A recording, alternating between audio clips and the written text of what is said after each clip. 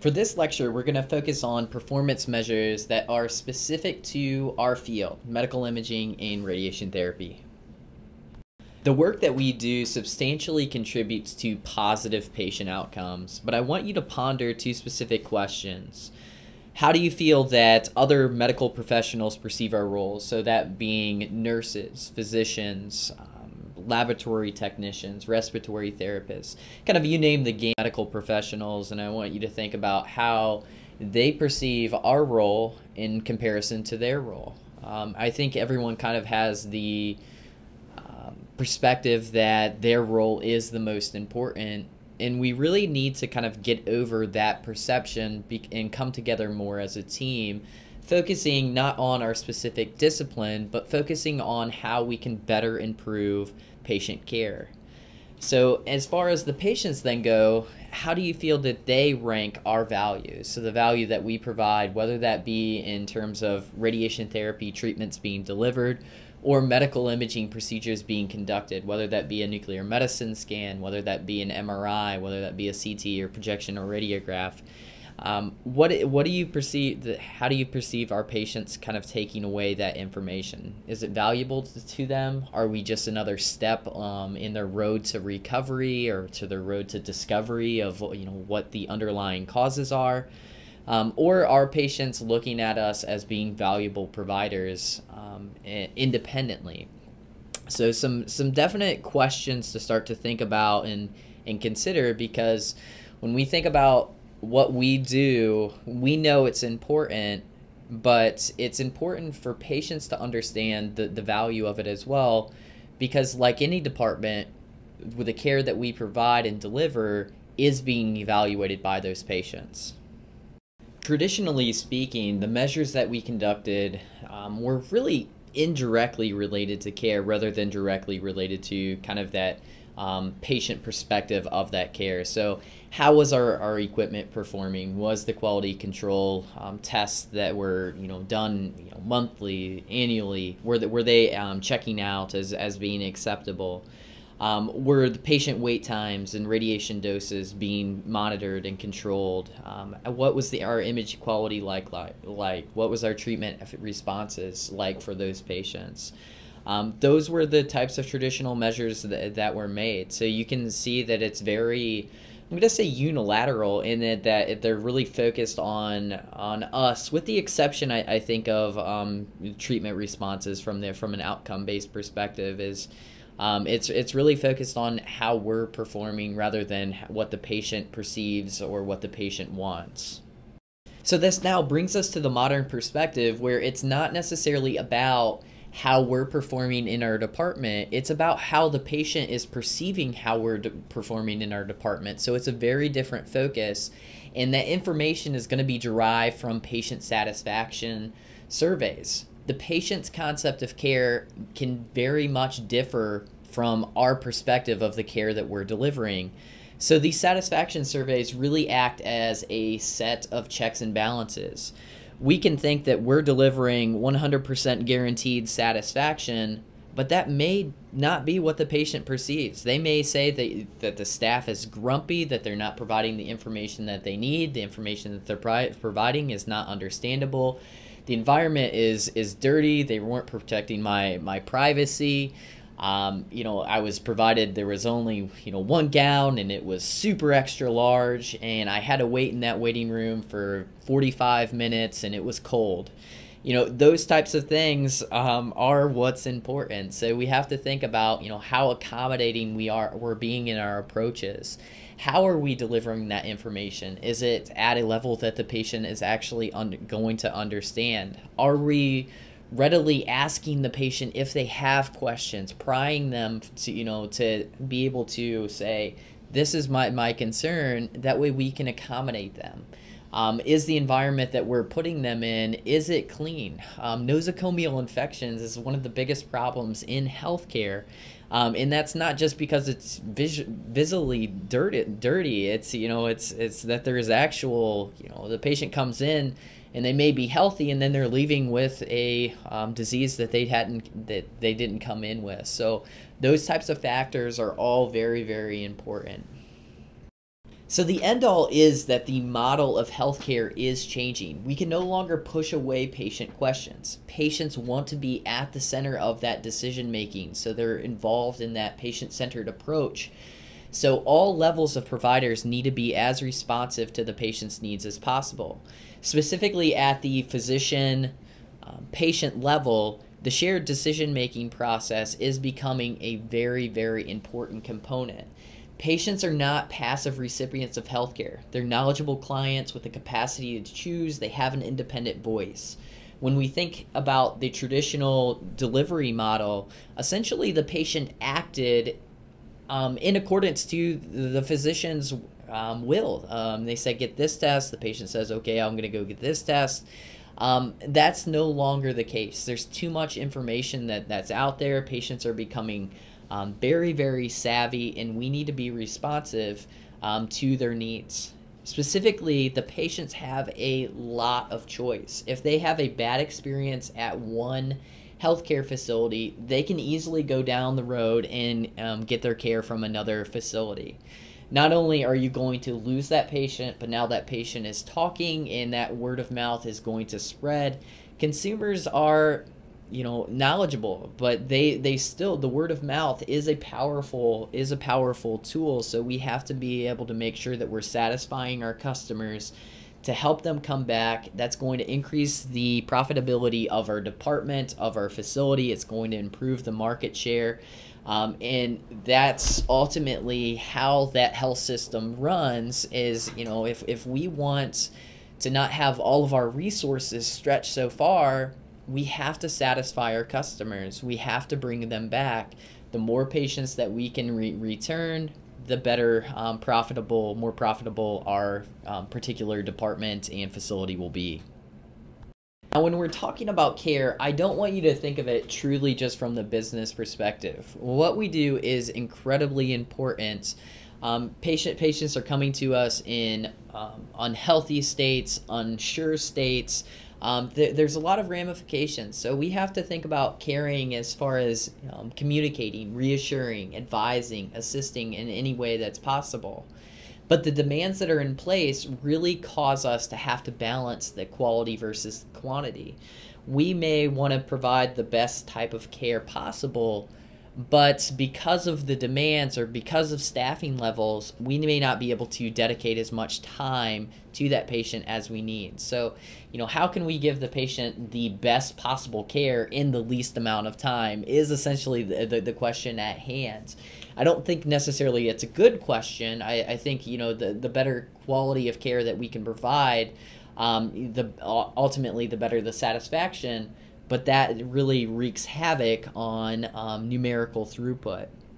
So we have to think about controlling um, factors that are restrictive to the to the patient. So achieving better patient wait times.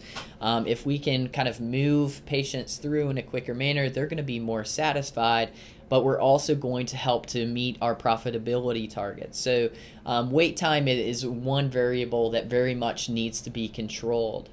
Um, but budgetary restrictions are in place, um, largely because of um, reimbursement models um, being um, lessened. So we, we have less money to do um, essentially more work. So, but we have um, less staffing that, that's going to be available because we can't afford them because we're not getting as much money in return. So, uh, you know, there, there's a lot of balancing that, that's take pla- taking place. And then when you consider the time restraints of how long it takes to provide quality of care, um, how long it takes to um, actually monitor um, monitor the care that we're, we're actually um, delivering as well also takes time. So uh, certainly a ton of um, things to think about here with quality and quantity, throughput, budget, and time um, and how we can still remain patient centered and patient focused throughout all of this. So, if word of mouth doesn't make its way to the patient, additionally, then all of the information that you know we're tracking and whether we have time for or not, don't have time for, we still have to report, and we have to report it to maintain our accreditations, and accreditation is required to achieve our reimbursements And you know, all of this information is available for the public. You know, we don't have paper that goes into the steel the steel bin that's only retrievable by upper level administration. This is, you know, soft copy based information that's uploaded to the web, accessible by patients, referrers, so like physicians, um, and potential funders. So, you know, all of this information is readily available, nice and transparent. So, if word of mouth doesn't get you, um, essentially for those uh, savvy um, consumers, you know, they can say, "Oh, wow, this this facility is not doing very very good. I'm gonna go ahead and go to the one across town instead."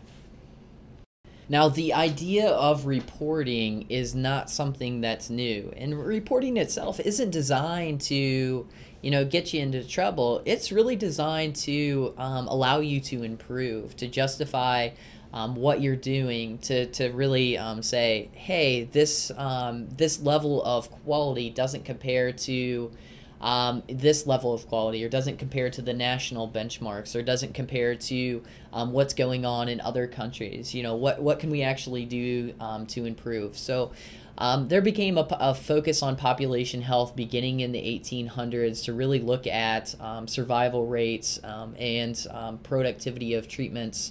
Um, and specifically in the 1950s, Florence Nightingale was credited with um, kind of leading the quality based initiatives in that uh, her approaches um, really demonstrated so she would change her approaches and see how they affected survival. So you weren't just getting um, essentially blanketed treatments and saying this is what you get for this condition but you know we essentially we're looking at now um, you, you got the rates. Now what happens if we adjust um, this factor and we'll see what happens to the rates? Um, that essentially initiated the, the quality um, the quality factors um, 1970s, the World Health Organization, WHO, um, they um, started to look at uh, mortality and morbidity. So, um, looking at longevity factors, disease survival rates. Um, so, lots of really good things. I think it's important to, to look at the, this information. Like I said, it, this shouldn't be these. This information is not designed to be punitive. It's definitely designed to improve the delivery of healthcare. Um, so I, I think it's very, very good that quality indicators are in place. And I think some of that good becomes lost because we, we are forced to satisfy regulators. We are forced to satisfy patients and staff. Um, but you know, it's it's important to, to really do do the best we, we possibly can in establishing practice quality improvement projects, which you know you'll focus more on in um, quality management IMG 405 if you haven't taken that class. Um, but you can start to think about, you know, what works best for, for conditions, how's the hospital performing, are we being as cost effective in this particular area as possible? What is what do the patient wait times actually look like? Um, maybe looking at comparisons between modalities, between saying uh, for this condition, this modality may be better because of this factor. Um, so you, you know, essentially, the goal of quality indicators is to produce some objective-based answers. So typically, um, objective um, based answers do come in the numerical form or the quantitative form. Um, but it is important to understand that quality is relative rather than absolute. So it is uh, a comparison. So, you know, it's, it's looking at the, the differences between healthcare in different states, looking at it, the, the differences between, um, you know, neighboring healthcare facilities, looking at it um, from you know national national levels. So you know how does the U.S. compare to England or Denmark or Ireland, um, and looking at it kind of in in those in that perspective. Now, the textbook does do a nice job at defining some different terms, and I want you to take a look at these different terms. Sometimes we use things interchangeably and we necessarily shouldn't.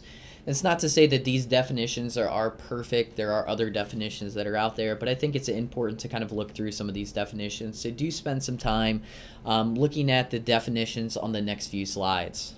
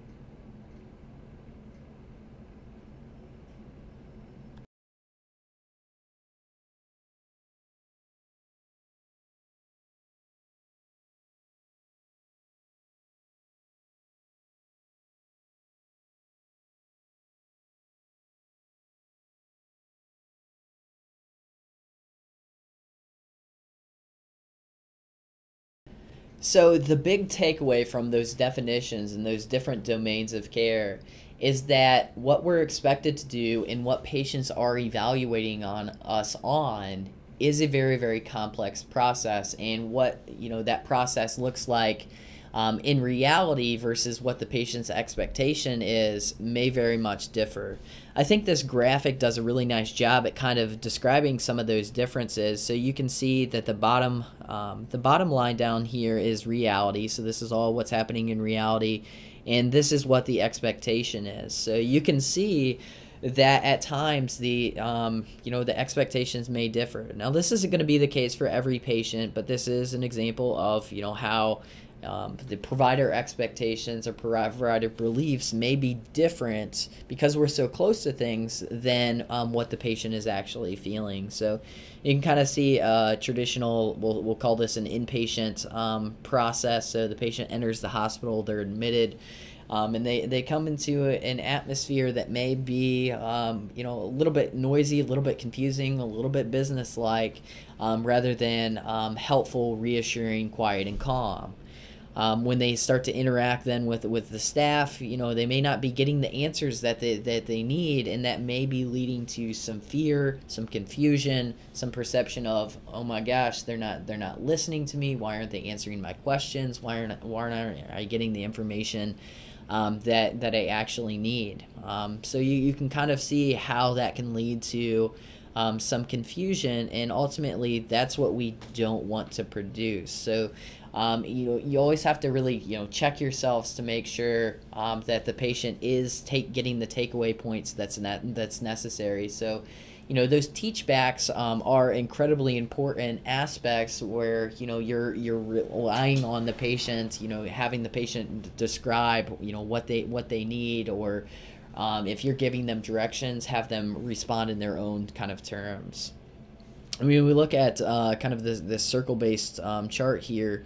So it's it's not just about what we're doing, but it's about the whole process that's being evaluated specifically in um, surveys. So HCAHPS based surveys, um, Press Ganey surveys, uh, patient satisfaction surveys, whatever you want to look at. So it's you know it's how things are, how things are, are working in the place and being delivered by those people. And then patient satisfaction is just, you know, one, you know, HCAHPS surveys is just one component. There are several surveys um, that are out there and um, that facilities are scrutinized and um, based off of. So it's it's it's definitely um, healthcare is is a complex is a complex system um, so you know, there's there's a lot of things going on. So you can see, you know, with um, you know the results of these surveys and how important these these surveys are because they really can affect how a department is actually running um, or how a department will run. So say if you're you're not making your, your numbers, what happens to staff? You know, what happens to purchase requests? What happens to you know new equipment that you need? Um, do those things get pushed further back? And if they do get pushed further back, then what happens when you compare your facility to another facility? And, and you know, patients do the same type of thing. So, you know, it's there's a lot of balancing that that's involved when you start to scrutinize um, departments based on performance, based on satisfaction, based on you know results of different surveys. So all of these factors kind of come together and say, all right, now we have to self audit ourselves. We have to compare ourselves to local benchmarks, to national indicators. And yes, accreditation processes are, you know, do, do require these, these types of, um, you know, benchmarking comparisons to be done. But it is important to, to self audit and to recognize that there are several steps of quality. Um, and you should really go through all of the steps with the whole idea of um, kind of the, those last three bullet points here is that we need to um, raise our standards, increase our own expectations, make sure that we are having safeguards in place um, to improve the patient experience, and make sure that we're consistently staying ahead. Essentially, when you when you break that down, that really is the definition of quality improvement. So it's not just about maintaining performance, but it's a, a focus on continuous um, improvement. Um, a way to kind of um, implement that is the, the PDCA cycle, Plan, Do, Check, Act. Um, it, in quality management, we will talk more about that as well. And as you're focusing on those quality improvement projects, it's important to look at um, metrics from a variety of different categories. So, those being structural, process, and outcome based. Um, radiology based study um, did determine that majority of um, what we look at um, happens on the structural side of things. So that's you know looking at uh, fixed uh, fixed practice, such as you know what's going on for equipment, making sure that we're doing our quality control, making sure we're maintaining our accreditation. Is a majority of you know the quality based um, functions that we're actually looking at. Um, with then process and outcomes coming in, you know, at, in a tie after that. But it's really important, like I said earlier, to start to look at the outcomes. So looking at um, essentially how is our care, what we're actually doing, affecting patient-based outcomes. I think that that's a big focus. That should be a big focus in research. Um, and, and, it is currently lacking, um, not just based on this report, but just you know just in general of, of what's actually out there is to really you know focus on um, essentially how the work that we do or the work that our radiologists do or the work that our radiation oncologists do directly relates to improving of those patient outcomes. While quality improvement projects can be very fun, they also can be required aspects through accreditation. Um, so when in terms of you know what we're looking at uh, for our external regulatory agencies, you have your hospital-based um, accreditors with the Joint Commission, and then you have your medical imaging and radiation specific, radiation therapy specific accreditors with the the ACR. So the ACR's whole goal is essentially to put out reasonable expectations to help improve or create. Um, high quality of care being delivered. We've talked about the um, NRDR, so the National Radiology Data Registry, really important tool um, that helps to create some of those benchmarkings to see where you're at, um, to help to uh, kind of facilitate some of those quality improvement clinical audits. Um, just to make sure that what we're doing is up to par and that um, obviously that information becomes publishable, it becomes available, um, and if, if we can um, readily maintain our accreditations, obviously we can promote and advertise that as well. So you can see some of those uh, different types of accreditations um, with the ACR. I guess that's that's probably pretty blurry um, on that particular um, graphic, but MRI, CT, uh, mammography, sonography, um, stereotactic based procedures. Um, you, you, can look at the um, the DICOE um, as well. So Diagnostic um, Imaging Center of Excellence is, is, is the big one. Um, so you know all kinds of different um, accreditations that are out there that the ACR offers. Maybe you've been involved with some of those accreditation processes. If you haven't, I encourage you to jump on some of those opportunities. It will definitely be a learning experience for you. Then to get back to that balancing act, so now we have all of these demands from our accreditors, and you know accreditation is in, in, in place, and we do abide by it largely to make sure that we achieve our reimbursements from third-party payers like um, like CMS to make sure that you know we're getting the money um, because if we don't have money or we don't have an operational budget, uh, but payers are um, seeking to minimize um, costs but yet still require you know high quality services to be delivered. So uh, it really becomes this this taxing experience, and in terms of you know wh- where that that money is actually coming from, comes from a variety of different er- areas, and there are penalties in place if you don't meet some of those areas. So if you haven't looked at some of those um, you know payment based qualities, I encourage you to do so. You can kind of see on on this particular graphic um, what some of those areas are looking at. So, um, looking at readmission. So, eh, you know, if, if a patient is readmitted within 30 days um, for the, the same diagnosis, you know, penalty can be it can be in place, and you're not going to get all of the, that return revenue. So you have to make sure you're doing the, the best job that you can the first time through. So all of these factors then do in fact, you know, impact how our departments run uh, they impact the, the staffing levels. So, in terms of administrative functions, there is a lot um, to balance when, when you think about the demands of accreditation um, because of reimbursements and then focusing on um, you know patient satisfaction survey results because of reimbursements they all influence um, what we can and can't do in our departments now, just the final little point that I want to point you towards is, uh, you know, another resource that you can acquire information from that may lead to some successful quality improvement projects taking place. So it kind of goes back to making sure that you're staying ahead, and this is a, one of those resources that can help you um, make sure that you're doing that, and make sure you know they provide evidence, and make sure um, with the goal of that evidence being used. So. Um, it's the Agency for Healthcare Research and Quality. If you haven't checked it out, I encourage you to go to that site. So this concludes our performance measures lecture. I hope you've taken away some key points and understand how patient satisfaction and accreditation uh, tie into reimbursement and subsequently how um, that reimbursement does affect our bottom line and it affects how we can operate in our departments.